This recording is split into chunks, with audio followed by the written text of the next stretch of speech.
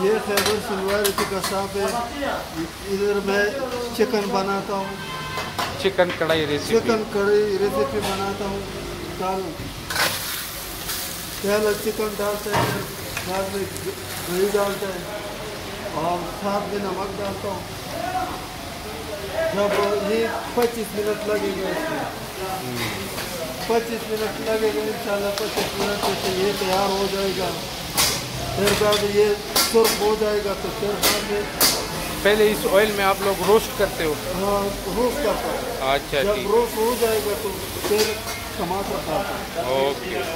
टमाटर हो जाएगा बाद में बाद में दही निकालता हूँ।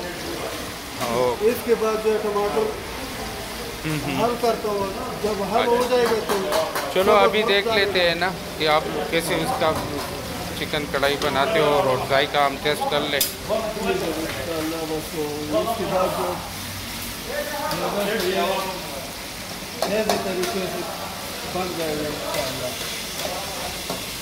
ये देखो शुरुआत तो वो वाला चिकन है और दरमियान वाला ये वाला चिकन है।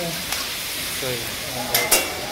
इंशाअल्लाह बस ये ये रो, रोस्ट बन गया रोस्ट बन गया वो टमाटर डालेगा टमाटर वाटर टमाटर डालेगा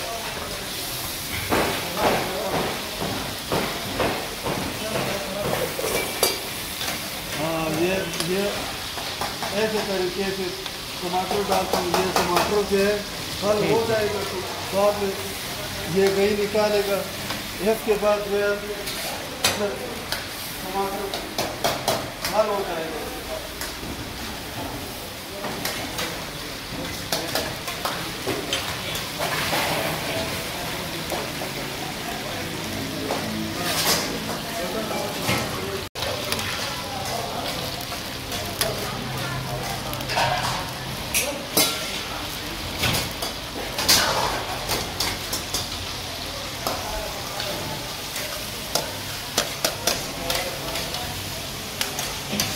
ये ये ऐसे तरीके से टमाटर हल हल करेगा। फिर बाद में इंशाल्लाह इसको देखो इसका जैसा भी देखो। ये शुरुआत है। शुरुआत इसी करेगा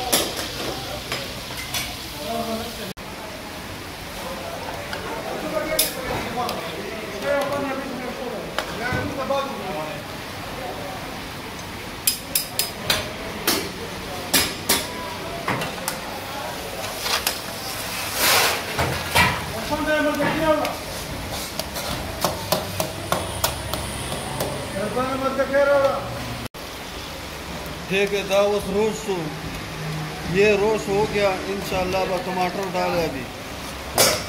टमाटर डाले, ये टमाटर हल हो जाएगा, नरम हो जाएगा, फिर बाद में इंशाल्लाह बन जाएगा। इंशाल्लाह ये टमाटर नरम हो जाएगा, फिर बाद में इंशाल्लाह हो जाएगा। ये गही निकालेगा, बाद में इंशाल्लाह बस बनेगा।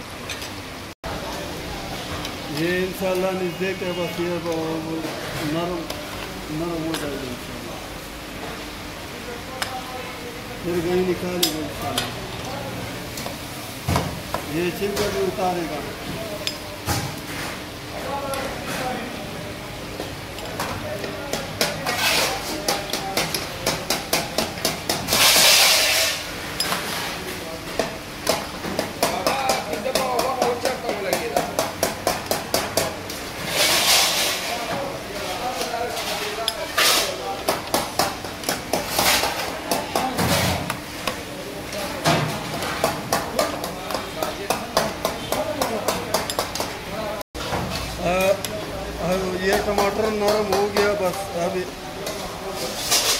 इसका तेल निकालेगा।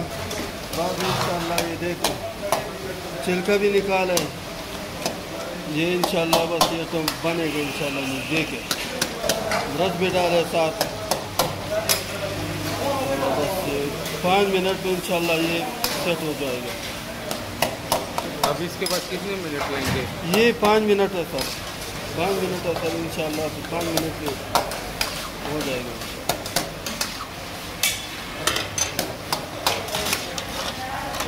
ये शिनवारी वाला चिकन है। खैबर शिनवारी का लोग बहुत दूर दूर से आते हैं। इसका काम जरा चटनी अ, ये ये तैयार बन गया इंशाल्लाह। और अभी खाने का तैयार हो गया बस सब कुछ। टमाटर हर चीज़ हल हो गया इंशाल्लाह बस। ये देखो ये कित- नरम